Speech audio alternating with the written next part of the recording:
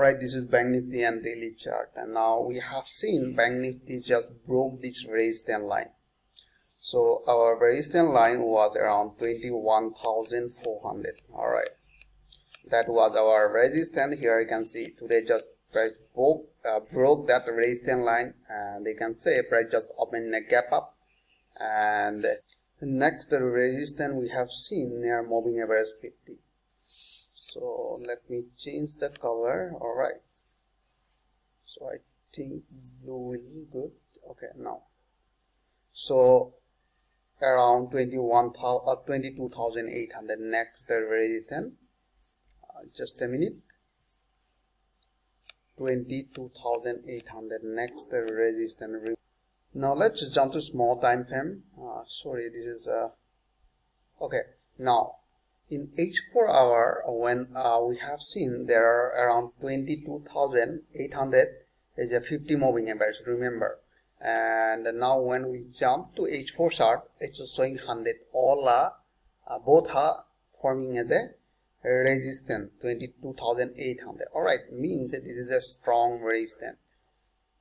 Next you can see H1 chart uh, so H1 chart here you can see uh, they're creating new higher high and higher low.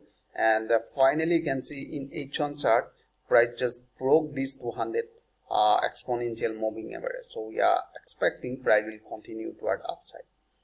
So now you can see in a 15 minute remember uh, here you can see most of the people are thinking hey price are running toward upside and today price open a gap up then form a bullish candlestick pattern. Can we go for buy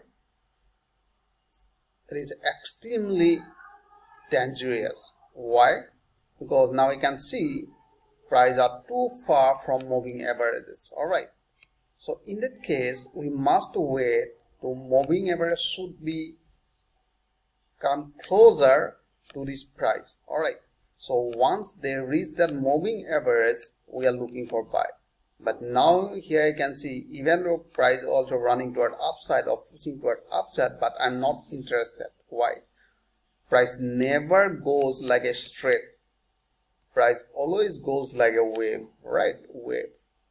Now we have seen price are over uh, both zone. So we need a retracement. When price will retrace somewhere moving average will be here. All right. And uh, at that time moving average will be closer. All right so that will be a valid buy so i hope you enjoyed this video. If you like this video please like and subscribe. And thanks for watching